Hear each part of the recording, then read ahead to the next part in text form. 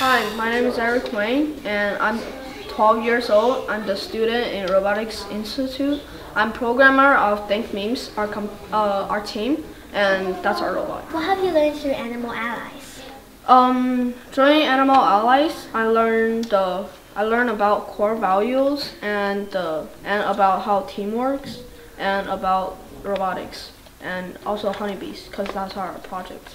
What is the kind of robot that you have always wanted to create? I think a ro- a smart robot, of course, and that could help us like on everything, just like Animal Allies.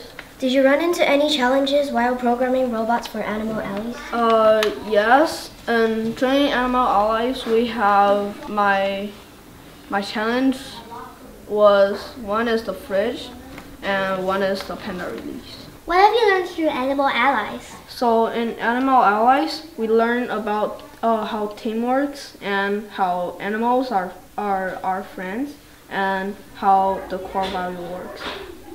What if you could create any robot you would like? How would you make it, and what would it do? I want to create create a smart robot, and the robot could help animals and humans. It could it could heal them like a doctor, and it could give them medicines or something. Did you run into any challenges while programming robots for Animal Allies? Yes, there is two challenges. One is the fridge. The food not is not coming out at all, and the panda release is easy to broke, and the um, robot sometimes run into it.